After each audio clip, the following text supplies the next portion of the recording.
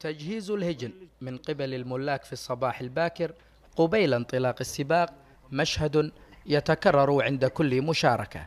هذا ما شهده ميدان ثمريت حيث ختام المهرجان السنوي لسباقات الهجن الأهلية التاسعة عشر في محطته الرابعة بمحافظة ظفار. تضمن اليوم الختامي للسباق إقامة خمسة أشواط وسط مشاركة واسعة من قبل مضمري الهجن للتنافس على المراكز الأولى في كل شوط. يونا مشاركين من محافظات ولايات السلطنة ومسابقين وجزاهم الله خير. وتعرف أنت المهرجان ذي يتلمون فيه من المحافظات ومن الولايات وسباق الهجانة السلطانية.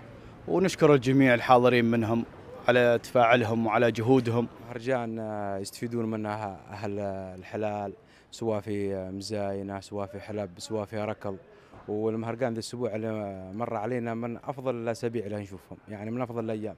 في تس يعني من الصباح والناس مزحومين في في رئيس في حلب في مركال الاهالي كل يعني يعتبرون مرتاحين منه المهرجان ذي. في شوط الحقائق بكار جاءت شواهين لحاتم بن سعيد الكثيري في المركز الأول. أما شوط الحقائق قعدان فجاء شاهين لملهي بن علي الكثيري في المركز الأول.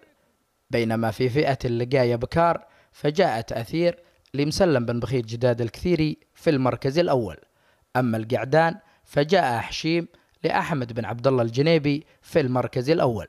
وفي آخر الأشواط السباق الذي خصص للإذاع فجاء التوزيع لمسلم بن بخيت جداد الكثيري في المركز الأول. اليوم الحمد لله في الشوط الأول جينا المركز الثاني حقائق. وفي الشوط القعدان حقائق جينا على المركز الثاني والثالث. وفي شوط اللقاية بكار حصلنا على المركز الأول والثاني. وفي شوط اللقاية قعدان حصلنا على المركز الثاني والثالث. وفي شوط الختام شوط الإذاع حصلنا على المركز الأول. حصلت عليه توزيع.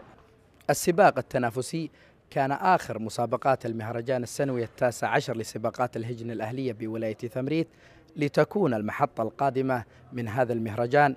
في ولاية صحار بمحافظة شمال الباطنة. سالم بن محمد زعبنوت ولاية ثمريت محافظة ظفار.